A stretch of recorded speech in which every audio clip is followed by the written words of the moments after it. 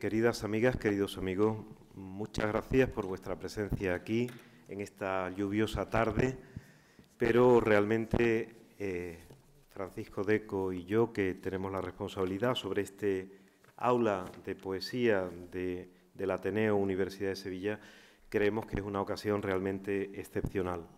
Yo voy a ser muy breve porque voy a, comenzar en primer lugar trasladando a la sala el saludo y el compromiso del decano de la Facultad de Filología que hace posible eh, estas lecturas, eh, que me llamó a mediodía el, profesor eh, Francisco José Ponce, González Ponce, para indicarme que, no iba a poder estar por razones mm, de peso, pero, pero que quería trasladarnos su saludo. En segundo lugar, eh, quiero agradecer de todo corazón a Miguel Casado que aceptara tan generosa y tan rápidamente nuestra invitación y que estamos seguros que, esta tarde vamos a tener un momento de, auténtica calidad e intensidad poética. Eh, también quería hacer algún levísimo recordatorio. Eh, pasado mañana comenzará en el Paraninfo a las siete y media la primera sesión del Seminario Internacional Itálica en la Literatura, con el que la Universidad de Sevilla se une a la candidatura itálica Patrimonio Mundial UNESCO y que en este caso a las siete y media, pasado mañana miércoles, será el profesor Jacobo Cortines, ya profesor jubilado de esta universidad y autor de la antología itálica famosa, el que haga la primera de las conferencias. También quería indicarles que a iniciativa de, los propios alumnos de la Facultad de Filología, en los grupos eh, que yo tengo, el día 8 de marzo nos uniremos también a las actividades del Día de la Mujer y a todas las manifestaciones de apoyo.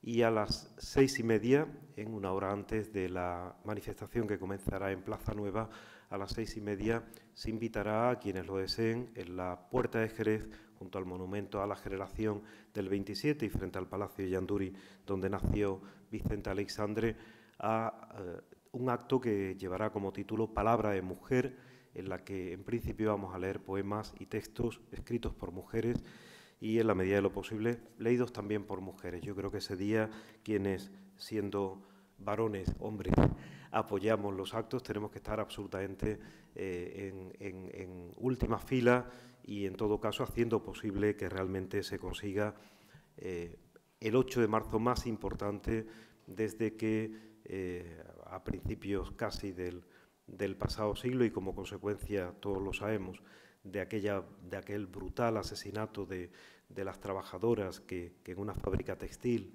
eh, se quejaban, se conmemora el 8 de marzo el Día, el día de la Mujer.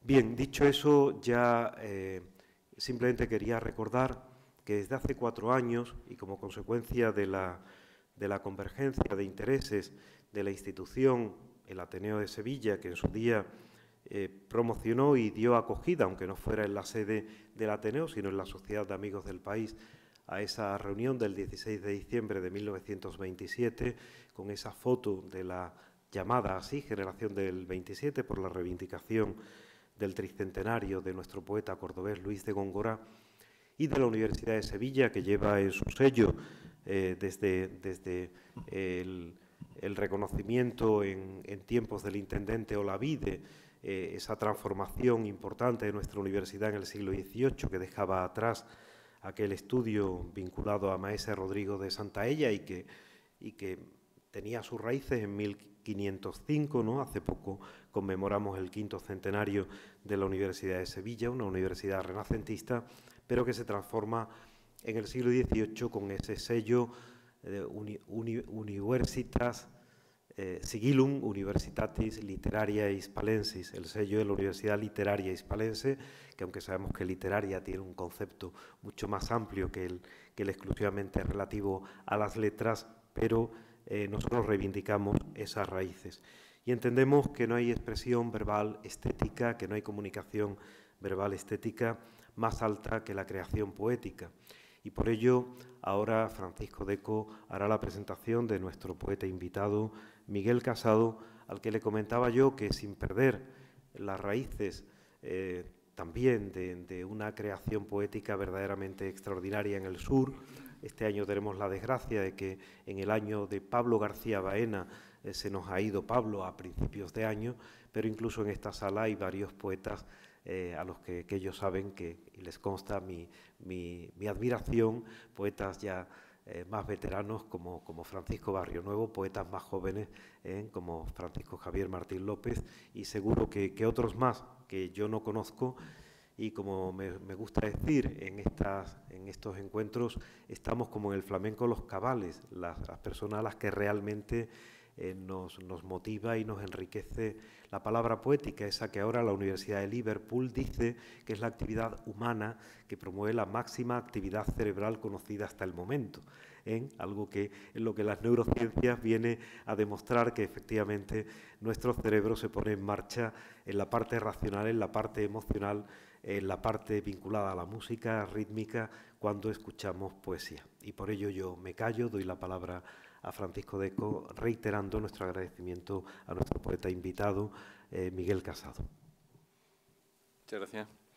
Bueno, pues antes que nada agradeceros a todos vuestra presencia, sobre todo a los rostros nuevos. Y, y, bueno, voy a presentar a Miguel Casado muy brevemente porque evidentemente habéis venido a escucharlo a él eh, que él mismo hablará de su propia poesía, además de leer poemas. Entonces, bueno, simplemente algunos datos ¿no? para contextualizar su figura y empezar diciendo que es uno de los poetas más destacados del panorama español, eso sin lugar a dudas. Eh, fue miembro del llamado grupo, bueno, fue y es, ¿no? miembro del llamado grupo de Valladolid, un grupo que se forja, eh, bueno, pues allá por finales de los 70, eh, con poetas eh, nacidos en la primera mitad de los 50 y que eh, ha sido importantísimo en el panorama poético de España, con nombres como Olvido García Valdés o Ildefonso Rodríguez o Miguel Suárez, ¿no? quizás menos conocido, pero un grandísimo poeta.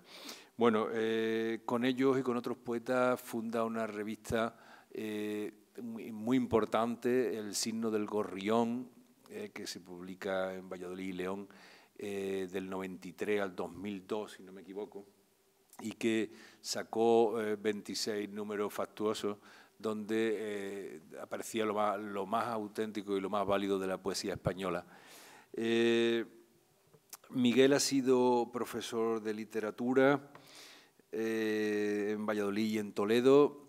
En Toledo vive desde hace 20 años y ha dedicado su vida a la poesía, básicamente. Bueno, no en exclusiva, es lógico, ¿no? pero ha sido el centro de su actividad. Y, eh, y no solo como, como, poeta produciendo poemas, sino también desde otros ámbitos y desde eh, otras escrituras. Mm, se ha dedicado básicamente a la crítica y al ensayo, eh, produciendo un enorme volumen de, de escritos. ha traducido abundantemente, sobre todo el francés.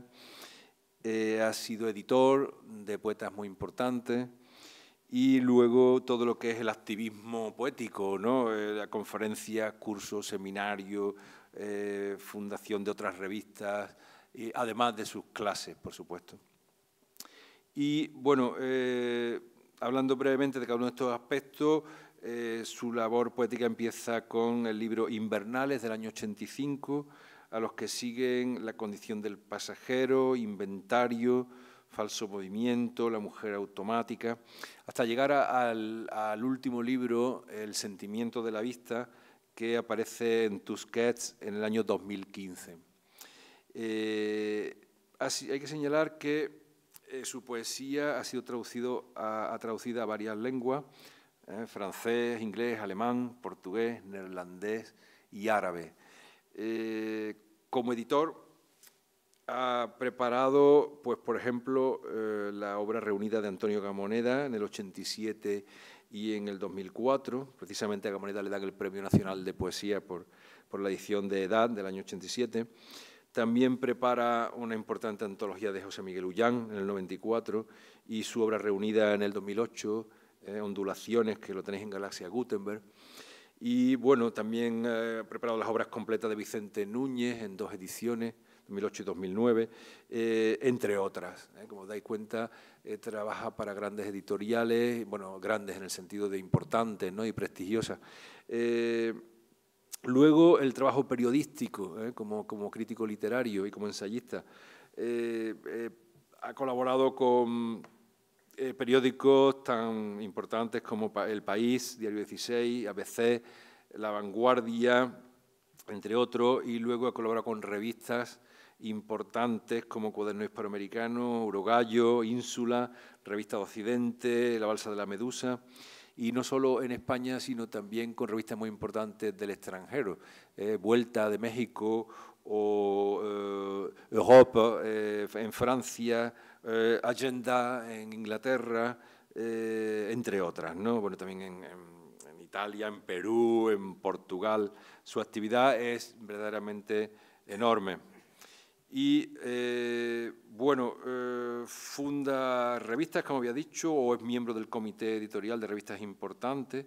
Eh, pues con Olvido García pues funda los, los Infolios y, forma parte del comité muy activamente de hablar, falar de poesía en Portugal.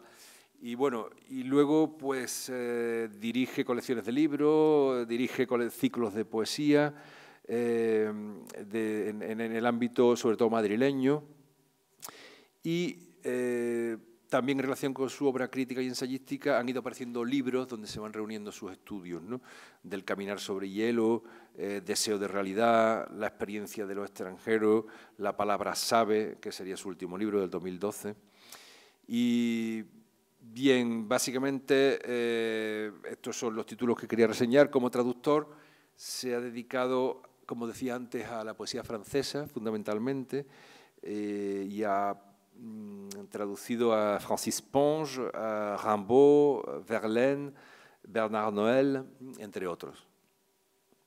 Bueno, en total que tenemos que, estar agradecidos a Miguel por su presencia aquí hoy y eh, simplemente terminar mi pequeña intervención recordando unas palabras del crítico y poeta Marcos Cantelli en un libro importante que se llama Del Parpadeo, Siete Poéticas, eh, que dedica su atención a poetas quizás no tan mediáticos como otros, pero igualmente o más importantes. Y eh, en este libro eh, termina diciendo que Miguel Casado considera lo poético como una poderosa forma de pensamiento crítico que se articula como un acto de resistencia vital donde se unen lo ético y lo estético. Ahora vamos, vais a poder comprobarlo en la hondura y la profundidad y la, eh, podríamos decir, la limpidez de los versos ¿no? de, Miguel. Eh, y con esto termino. Muchas gracias. Y cedo la palabra, por supuesto, al poeta. Bueno, buenas tardes.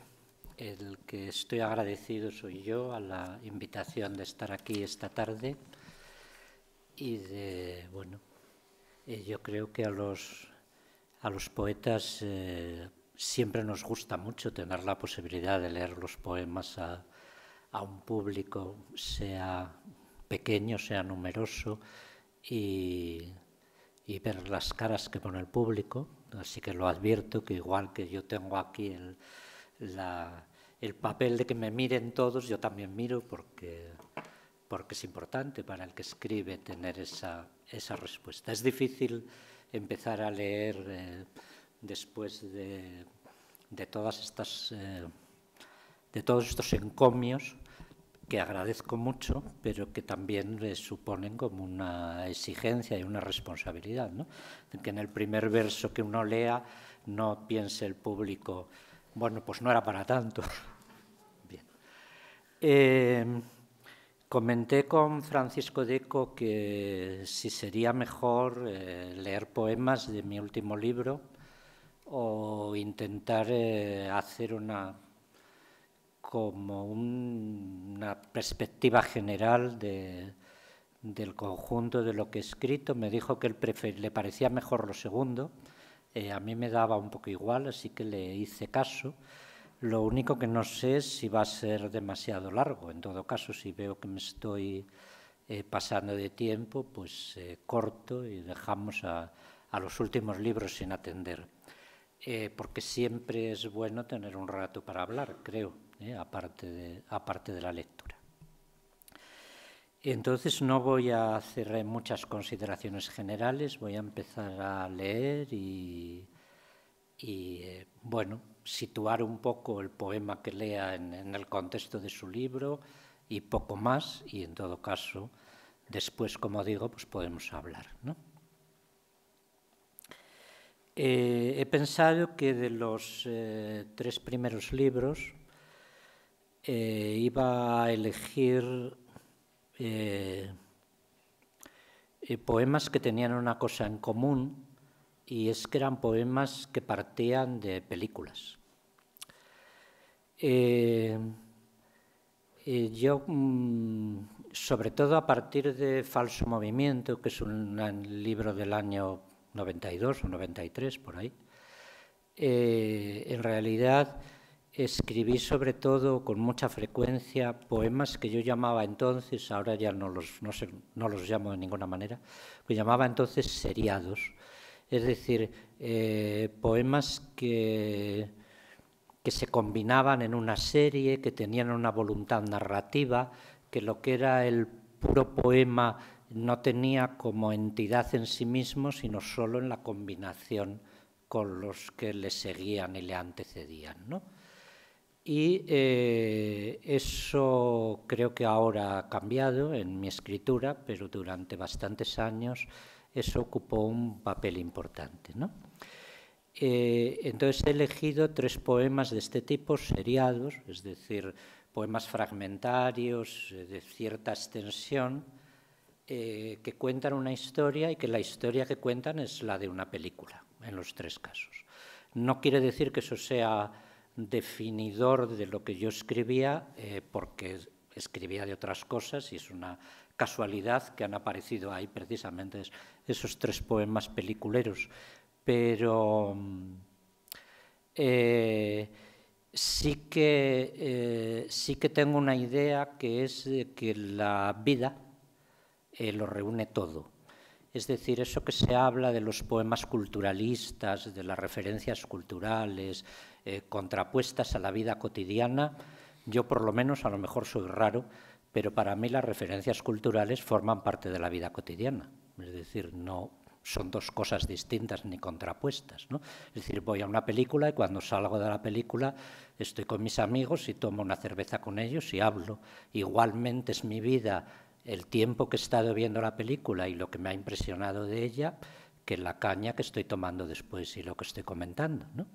Entonces siempre he tratado como de que todo eso eh, no se separe, sino que vaya formando como un cuerpo que fluye único. ¿no? Bien, entonces digamos que el papel de las películas sería como el desencadenante del poema, pero luego con las imágenes de las películas se mezcla todo lo demás y seguramente se acaba contando otra historia, aunque también se cuenta la película. No me extiendo más con la introducción. Mi libro Inventario, que salió en Hiperión en el 87, terminaba con un poema eh, que se llama Pierrot le Fou. Pierrot le Fou es una película de Godard y este poema para mí siempre fue muy representativo de, de lo que yo quería hacer y de la posición que yo quería tener casi en la vida más que en la poesía. Y durante muchos años siempre empezaba las lecturas con él. Ahora hace tiempo que no lo hacía, o sea que esto es una especie de, de refresco de, de, esa costumbre. Eh, no voy a contar la historia de la película ni nada, voy a leerlo eh, simplemente. Como digo, son unos cuantos fragmentos que van eh, sucesivamente sin título entre ellos. Hay una línea recta en el mapa que une este punto y el mar. Por ella circula un tren con las ventanas encendidas, constantemente circula, cruza el puente sobre el estuario hacia el sur, hacia el norte, cuando cae el día.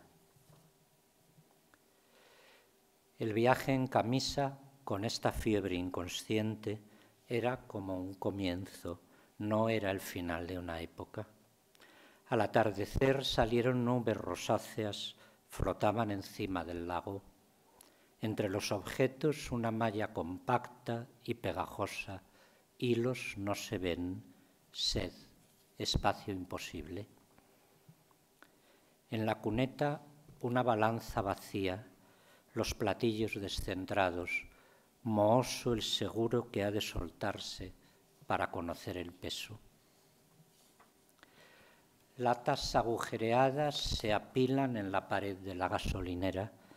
Hemos abandonado el coche, corremos entre los surcos sin sembrar, sobre las piedras agudas de la vía, traviesa a traviesa, resbalamos en el metal de los raíles, o arrojan las piedras, se apilan luego en un rincón, crían despacio telarañas.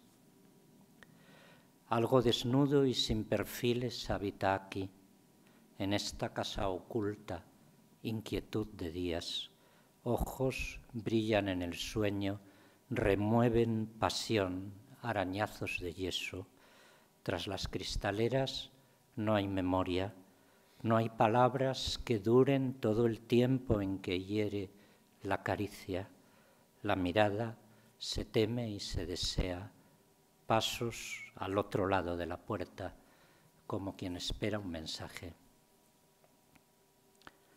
Cerveza y ensalada de pescado con salsa blanquecina en cuenco hondo, atardece sobre el recodo entre iglesias, las casas están doradas, se entornan persianas provenzales. Bromeo porque me siento intruso en este ambiente de frontera, donde el límite es leve, aquí mismo, al alcance de la mano no supe si alegrarme de que nunca dijeras que estaríamos sentados aquí para siempre o llorar. El vértigo es incomprensible desde fuera del vértigo. Viento sobre las rocas, el oleaje impide seguir la pesca. Sentado en el suelo espero, grumo de codos y rodillas. Velozmente un tren se despeña ante mis ojos, el reflejo de las ventanas, mientras en línea recta va hundiéndose.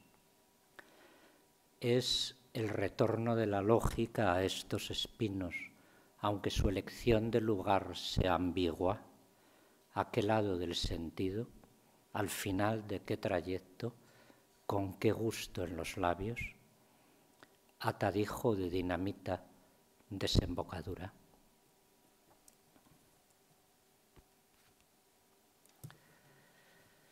Bueno, pues esto era Pierre Le Fou.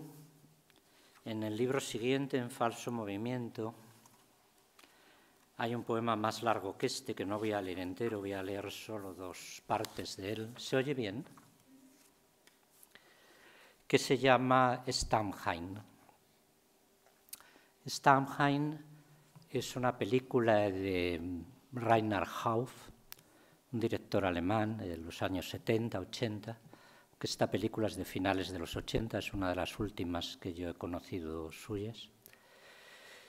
Eh, y Stanheim es también la cárcel que se construyó expresamente para encerrar a los llamados eh, miembros de la banda Bader-Meinhof, es decir, un grupo eh, terrorista de izquierdas que hubo en Alemania en los años 70 y parte de los 80, 60 también al final.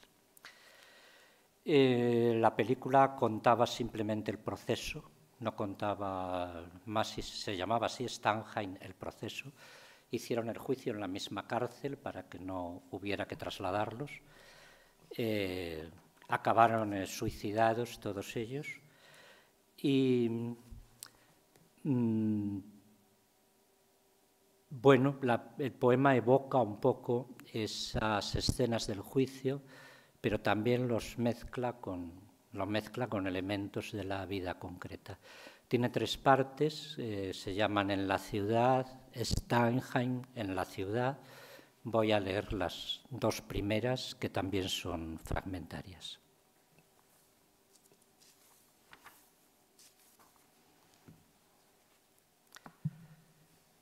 En la ciudad. ocurre a veces este retorno de los jóvenes fascistas, esas pintadas, los símbolos. Algunos bromean, es posible que otros estén asustados, circulan en coche, no les importa dejar manchas en los asientos. La pared distribuye alrededor de sus letras negras y torcidas anuncios de pocos colores. Bromean, sí, se divierten. Con pasquines pequeños tapan escaparates de comercios en quiebra.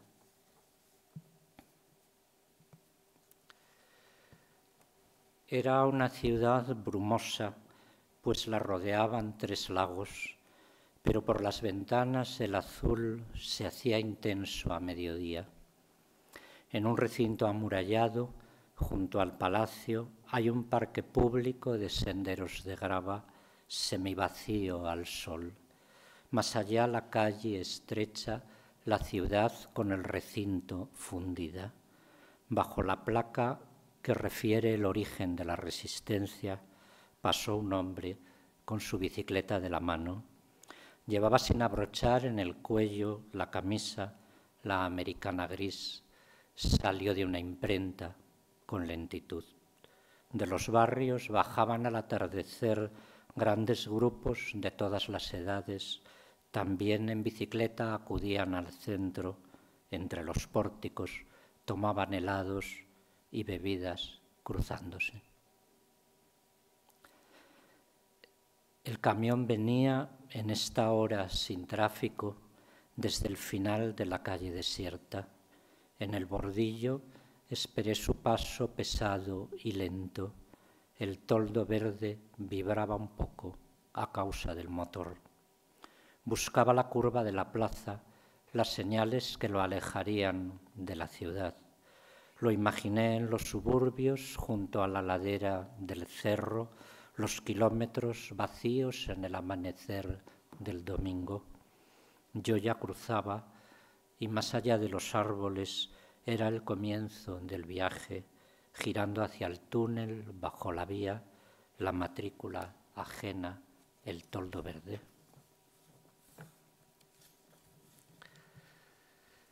Stamheim. Repite varias veces este gesto. Vete a la cocina y abre el grifo. No caerá agua, solo un ruido de succión, después cuatro gotas inconexas. Mientras dura la espera, repite varias veces este gesto. Sabrás que está cortado el suministro del agua, pero te dará igual. Escucha el lenguaje de las cañerías, su movimiento sordo y vacío. Hace calor.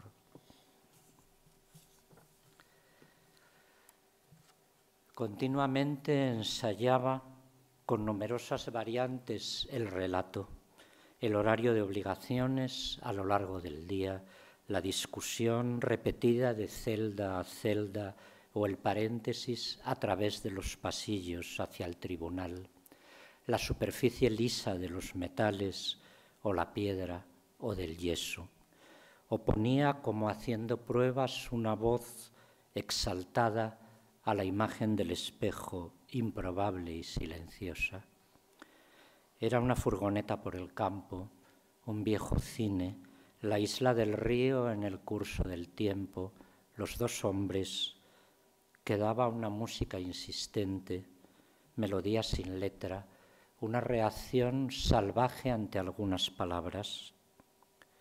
Cuanto más gris se hacía el recuerdo, más inexpresiva la verdad, más desnuda y osca, crecía más ese calor, el del oído sobre la almohada, la tela de fieltro en la tierra, la tierra y el brazo encogido hacia el pelo, la mano bajo la mejilla. Estaba solo y era indestructible. Aunque era falso, afirmaba que él no estaba solo. Nadie era indestructible.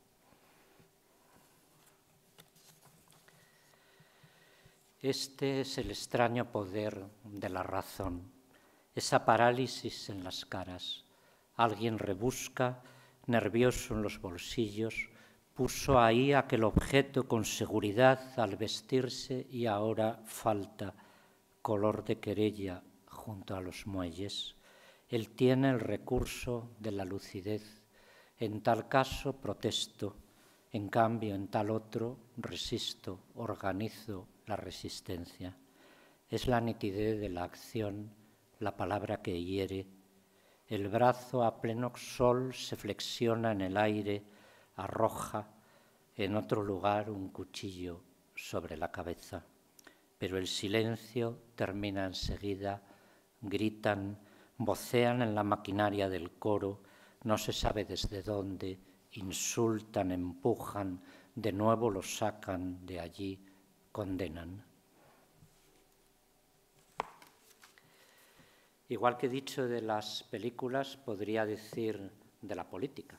Quiero decir que siempre he pensado que la poesía política no es la que habla de política, sino la que intenta situar las realidades políticas y las posiciones políticas en el curso de la vida junto a las demás cosas. ¿no?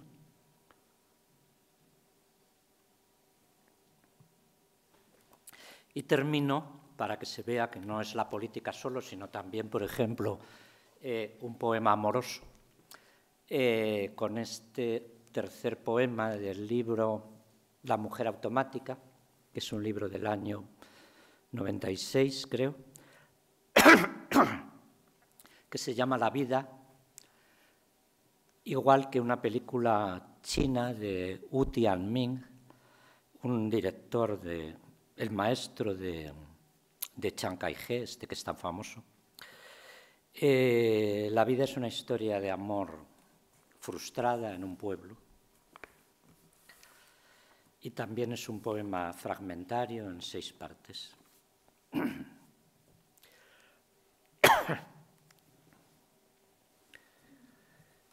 Uno.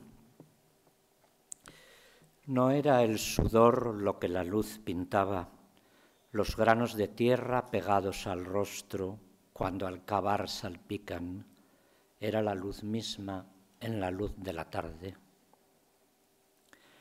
Bajo el parasol de robles, las colmenas de madera en la terraza, el tejadillo a larga sombra, la cara lisa, madera sin barniz.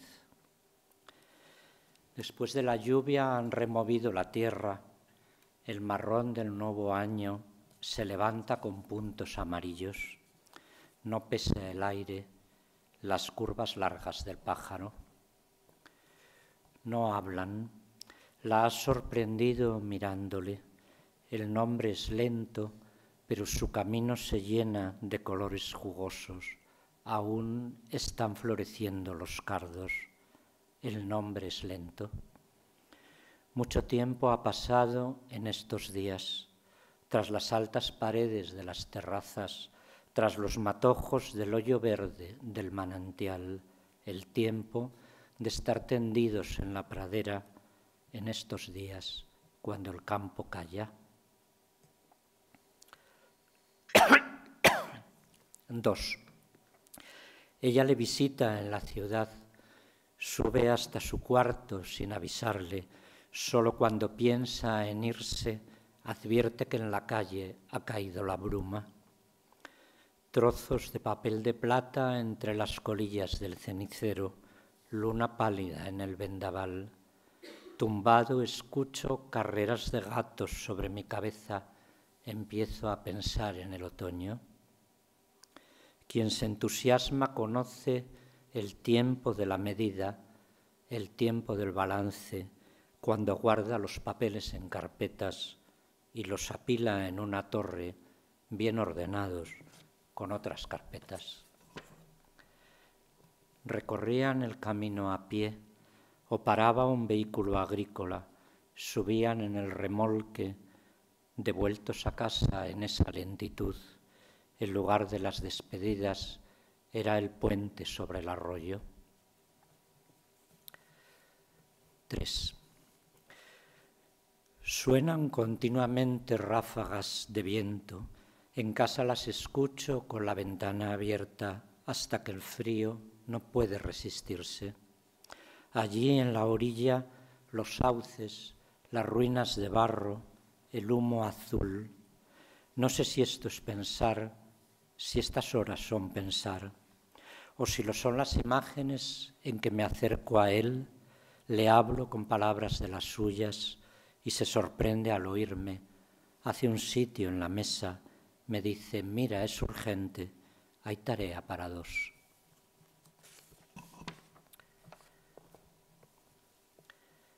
Tampoco en el fin hay palabras. Como la uña se separa de la carne, pero el vacío en vez del dolor. Ya no ha de volver, y si viene, le veré en la ladera del monte, en su camino de tierra. La ciudad está hecha de calles con las casas que se miran unas frente a otras.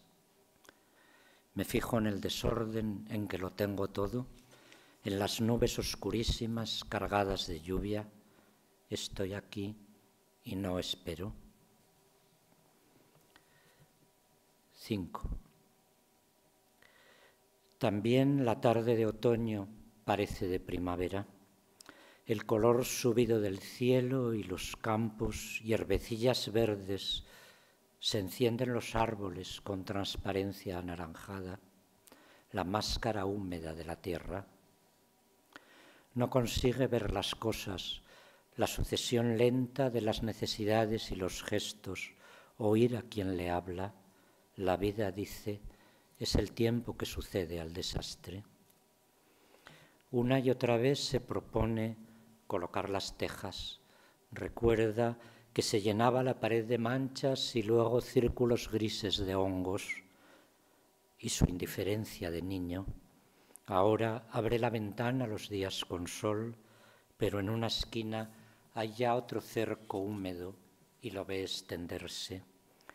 Acude al mercado con un cuébano de panes, quieto entre dos mesas de verduras, pequeñas monedas poco a poco.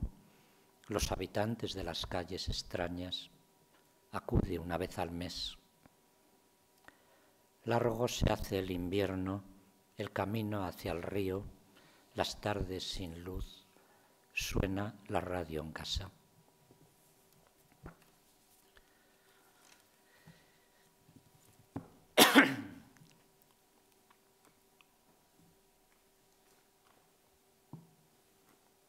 Siguiente libro se llama Tienda de Fieltro, que salió en 2004.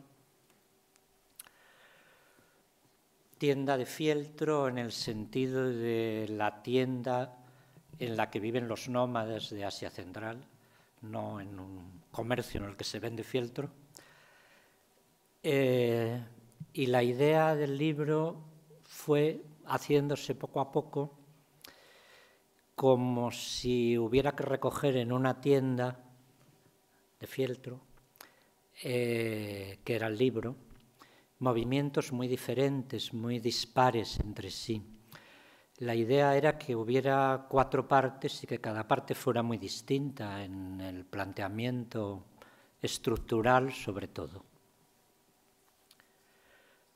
No sé hasta qué punto lo hice, o sea, no sé si por ejemplo la segunda parte y la cuarta se parecen más de lo que yo quería, pero bueno, por lo menos tres cosas distintas, bastante distintas sí que hay. Eh, entonces voy a intentar dar una idea de, de las cuatro partes rápidamente la primera se llama Del azar y está basado, está basado relativamente, porque en realidad no tiene nada que ver, pero mi cabeza estaba basado en un cuadro que para mí es eh, emblemático de siempre, que es el Políptico de Sao Vicente de Fora, eh, que es eh, la primera gran obra de la pintura portuguesa en el siglo XV, finales del XV, atribuida a Nuno González. Entonces, los poemas nada tienen que ver con el políptico, pero sí tienen esa idea del políptico.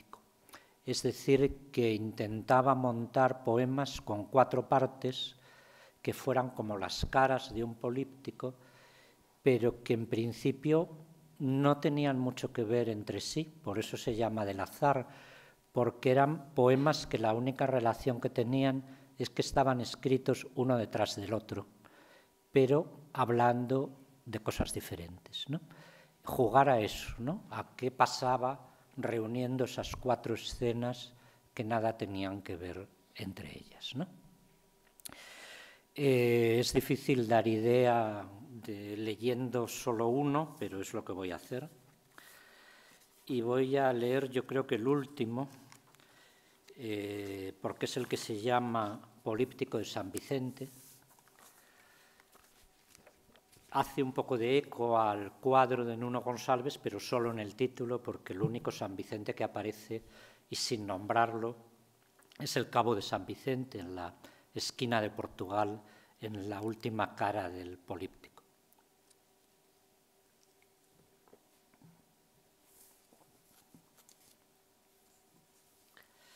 Políptico de San Vicente.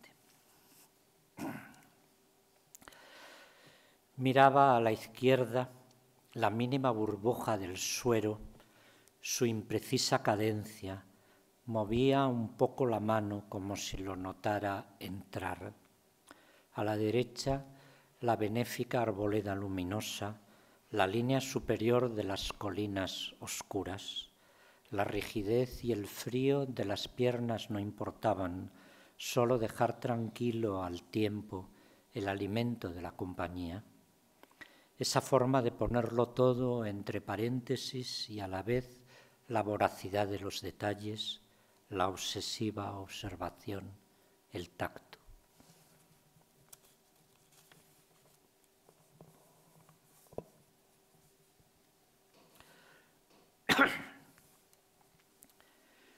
El sonido de la campanilla, violento, estridente, una y otra vez en aquella nave saturada, los ásperos gemidos como un ahogo cuando llegaron, la larguísima cola lenta hacia la familia que esperaba alineada en la marquesina del autobús. A la mañana siguiente la imagen era muda, una cassette borrada que diera vueltas aún en su vacío y zumbara apenas. Ese estado lo dispersó todo, lo aleja ahora como amparo. Entre la multitud era difícil no pisar las lápidas, no tropezarse con sus bordes de distinto nivel apiñadas. El huerto de almendros espacioso, atravesado de aire, el sol de una playa argelina, un foco en la sien, las cejas negándose, apretando.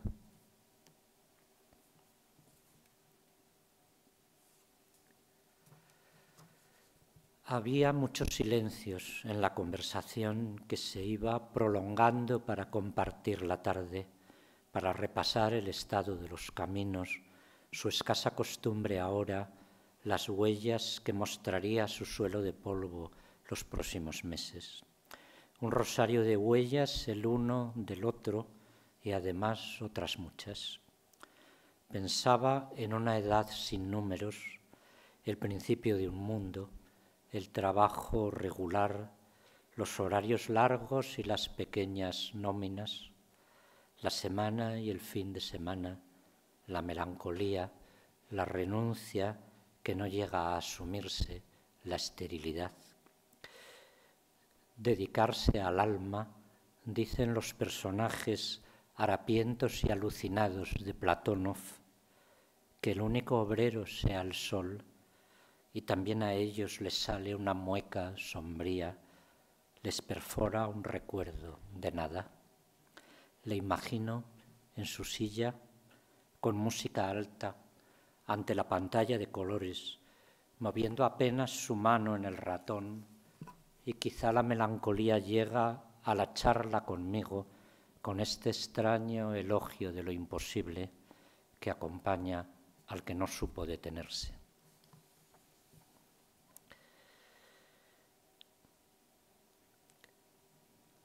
Las dos discutían de arte como si la pasión alimentara pusiera almendras entre los dientes, aceite en las articulaciones de una extrema delgadez. pasa así a veces, la violencia y la intensidad que asumen las palabras enajenadas y reconocibles a las del discurso. Los gorriones venían a buscar migas junto a los zapatos sin susto, ejerciendo su aprendizaje doméstico, picoteaban restos de patatas fritas. Las plantas de lo seco levantaban sus enormes flores como árboles. Las recordé en el fin de Europa.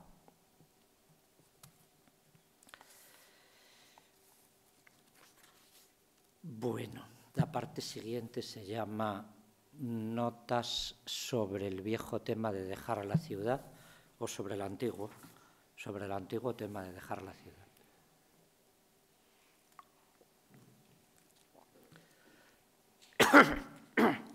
Es el título de un poema sin notas sobre el antiguo tema de dejar una ciudad. Es el título de un poema de Aníbal Núñez en su libro Alzado de la Ruina. Y era un título que me venía perfecto porque estos son los poemas, digamos, de, de mi marcha de Valladolid hace ya 21 años, es decir, dejar la ciudad.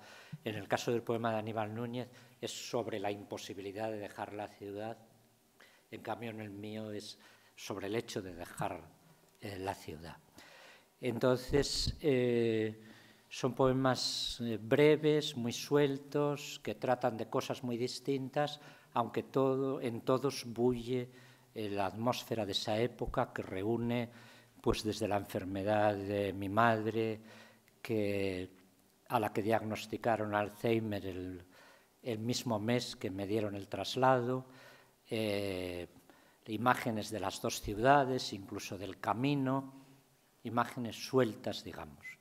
No voy a, eh, leer nada de eso, sino voy a elegir un hilo eh, que yo llamo de la rama y que ya se verá que es porque sale una rama, pero que en realidad forma como una especie de imagen que va fluyendo a lo largo de todas las demás. Y bueno, nunca lo he hecho. Esto me, el otro día preparando la lectura dije, voy a leer esto de la rama. Entonces, lo siento por si no funciona. La rama en el ojo, como en el árbol desnuda que el viento bambolea, sube y baja con el viento azota misteriosamente, se la ve desde un sótano al pie de una escalera.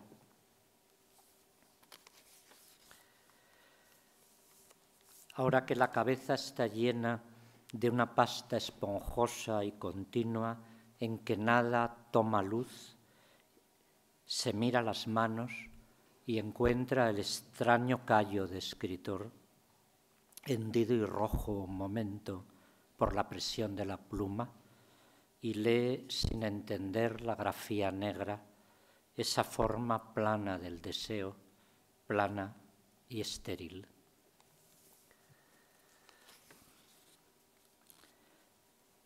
En las mañanas de poca luz, la rama sin contraste queda como sombra ahí abajo, obligando a levantar los ojos buscar en alguna parte negada la nitidez del color.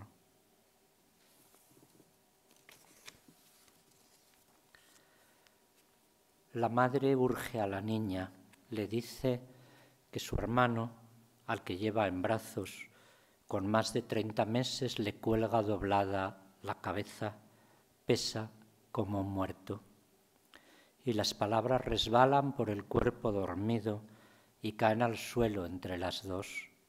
La niña mira con cuidado de no pisarlas.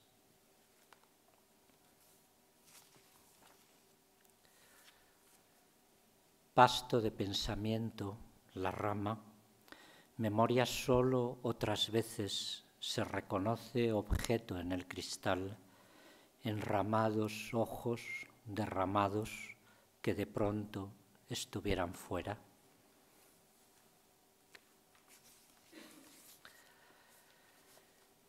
En la nueva casa, cuando abrimos la ventana al sol, cada día entra a la misma hora una familia de abejas. Quizá, dijiste, en otro tiempo conocían el lugar, tenían costumbre.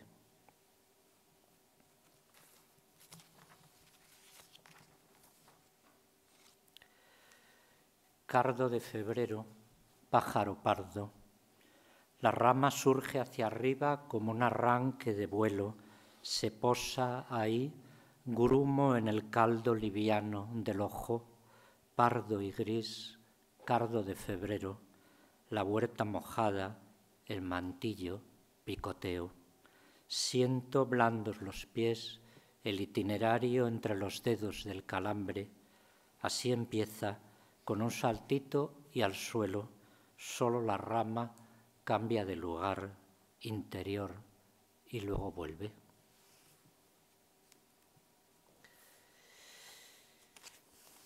Bueno, luego en el coloquio, si a alguien le interesa, explico lo que es la rama, aunque desde mi punto de vista se cuenta, pero vamos, seguro que queda abstracto así en la primera audición.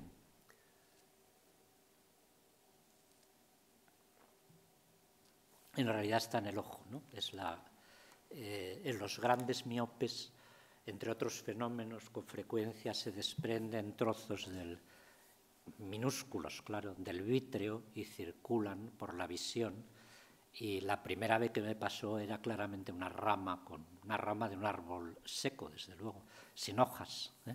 que aparecía o no aparecía y que de alguna manera daba consistencia abstracta, pero consistencia a toda aquella época. Bueno, la, última, la tercera parte se llama mm, eh, para ordenar los plurales. Son poemas eh, largos, eh, políticos en general, pero mm, de esta manera que decía antes, ¿no? a través de una especie de deriva de la vida cotidiana en que van entrando con las demás cosas. Eh, tienen un título de lugar, es decir, el lugar donde se generó el poema, eh, que es un lugar normalmente cotidiano y sin ningún eh, relieve ni trascendencia más que personal, y suelen ser muy referidos a las fechas de ese momento. ¿no? El que voy a leer, que se llama Avenida de América, es, es la Avenida de América de Madrid, de la calle, también la, la estación de metro, el intercambiador de autobuses. Eh, está escrito 13 o el 14 o el 12 de septiembre de 2001 y aparece, eh, digamos, que las imágenes de Nueva York de aquel momento.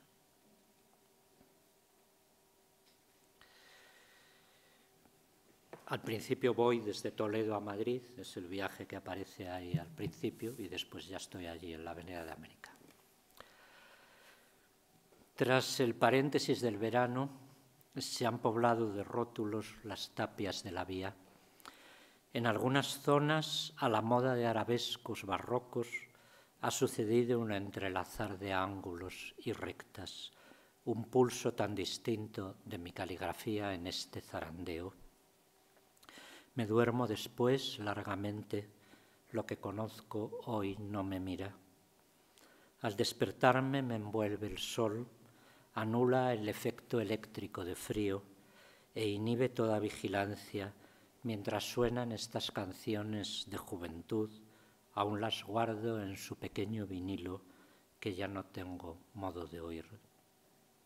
Sopeso el cambio de vida y el cambio de la vida. A cada uno lo asocia su enemigo, perdón, lo asedia su enemigo y no sé si es posible el socialismo en un solo país. La analogía me inquieta con su historia. Necesito que ocurra como en nuestro balcón las flores rojas que brillan en los geranios negruzcos y podridos por la epidemia. El cambio de vida es una flor de estercolero y la gente se agolpa para mirar en las pantallas del metro las toneladas de escombros de Manhattan Avenida de América, ya. América viene de tantas formas, con mochila y maletín, cobriza y blanca.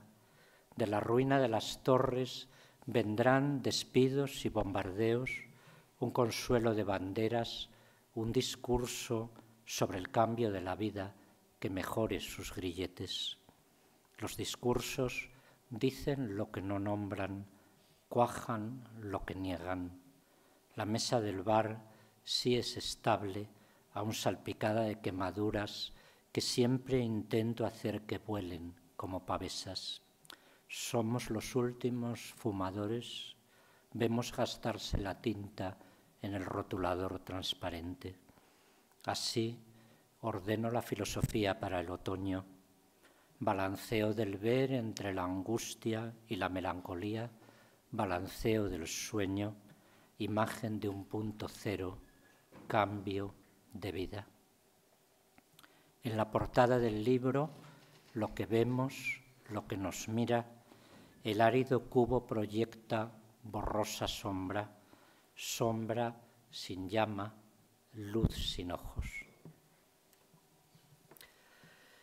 Y termino con la cuarta parte que se llama El aire y que son poemas que tienen breves también, que tienen que ver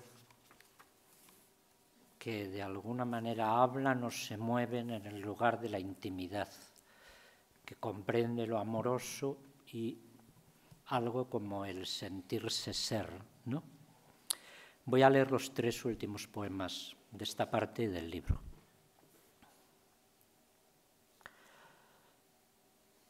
Beberemos agua para el cambio de tono.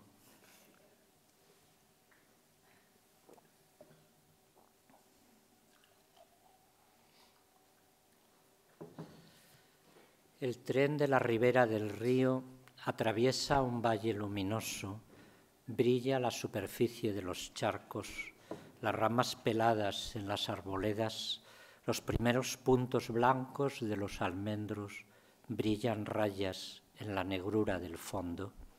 El cristal recoge los primeros goterones, los cursos veloces, oblicuos. Tomo un poco de esta música que adormece, como un género de acordes imprecisos que son del aire. Una oreja suave parece la semilla de acacia en el bolsillo, lóbulo suave, labio. Se conoce solo lo que ya estaba. Freud o Platón, lo mismo hacia atrás, ir excavando, una escalera transparente, un grumo prieto con párpados de amapola, contra Platón, lo nuevo, lo que no era, un país de tierra, ojos en la cara.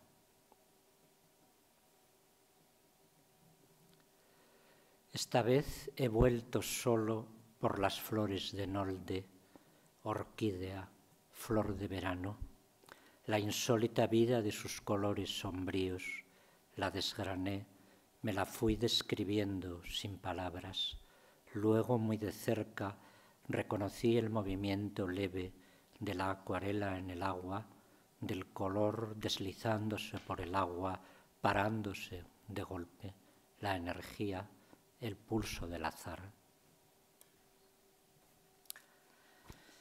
Bueno, ¿cuánto más leo? ¿Diez minutos? ¿Cinco? Pues tenemos hasta las nueve, si quiere que dejemos un poco de espacio para... Cinco minutos. No, no, lo que tú veas. ¿eh? Eh, dejamos si acaso los diez minutos finales o quince para... Vale, hasta menos cuarto. Hasta menos cuarto. El libro que apareció hace dos años y un poco, que se llama el sentimiento de la vista.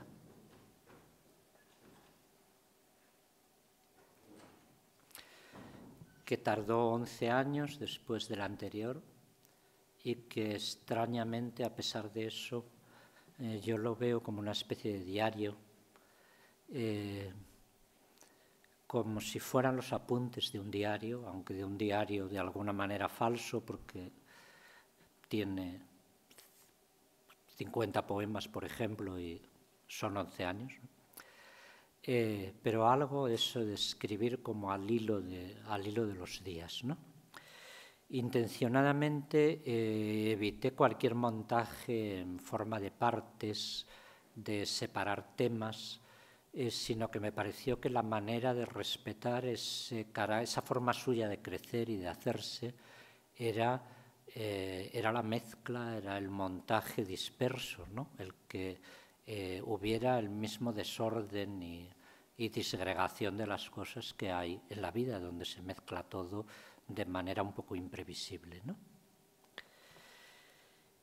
Y bueno, no sé qué puedo leer.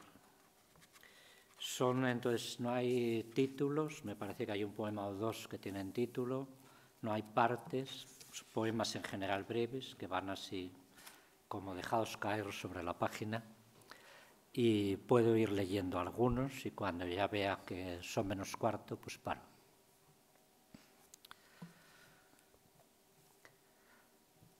Tendido a oscuras, con las ventanas abiertas, respira la brisa de los árboles, ve la sombra más negra que la habitación de las ramas del moral y la extraña luz que se difunde en el cielo, luz de la noche equilibrio de verdad y mentira, corriente sin manantial.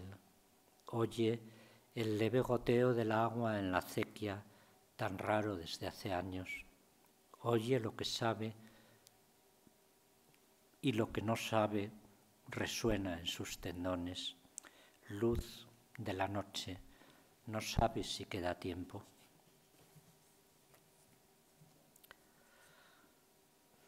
dos hojillas de romero arrancadas en la calle, apretadas en los dedos, huelen, aún dura, digo cada vez.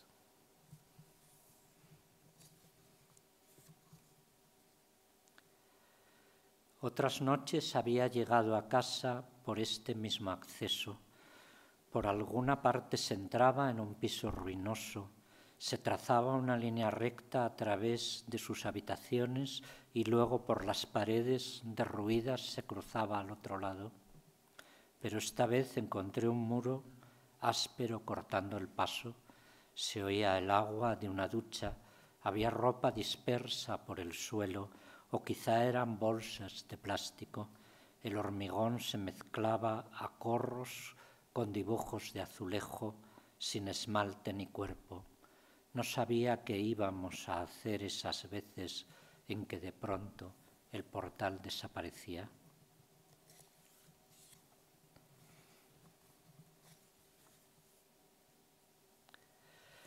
La precariedad de los árboles se desnuda en el vendaval, no solo con sus troncos delgados, los jóvenes casi a punto de quebrarse, también los adultos, los ancianos, desgajados en penachos, vueltos contra sí mismos.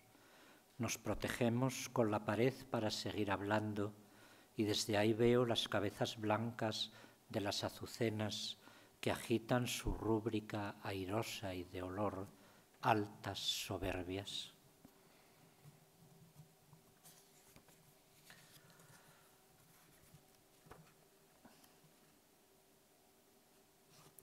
A los miopes extremos les crecen los ventrículos del cerebro, tienen hiperdinamia, aptitudes cerriles. No sé si pertenecía también a sus síntomas que llorando abrazara el cuello de un caballo. Fue su último año activo. Escribió en él siete libros. Ya en diciembre dicen que solía hablar solo. Acostumbraba de joven a dar largos paseos para sobrellevar los dolores de cabeza y su lengua empezó a hacerse fragmentaria.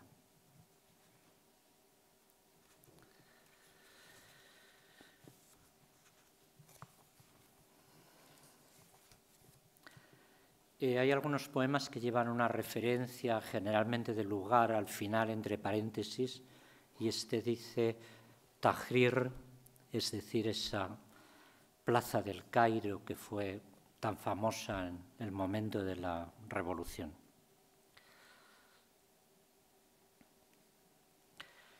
Con la cámara fija estuve sin notar las horas desde lo alto de un hotel cabezas circuitos pronto familiares.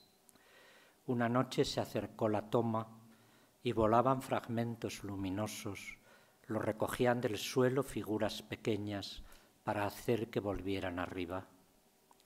Lo dejé todos esos días, ninguna ocupación quedaba, mirarlos, devorar con los ojos aquel espacio ilegible, perseguir huellas por si pudiera saber ahora si entonces hubo otro camino o aún lo había.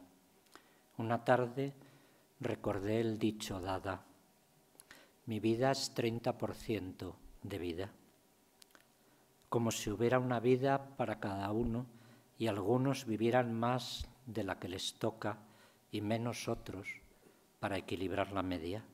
O sea, que la vida es barata, la muerte es un poco más cara.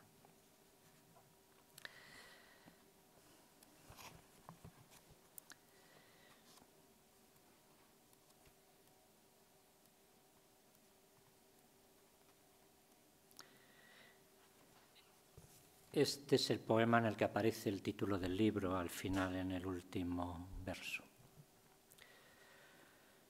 Autorretrato ante el espejo del hombre flaco y ya mayor, impreciso de formas, completamente cano. Pudo pintar la miopía mirándose con esos ojos hundidos y velados, con esos ojos de no ver toda la vida mirando y sintiendo el sentimiento de la vista. Y termino con el último poema del libro, que dice así.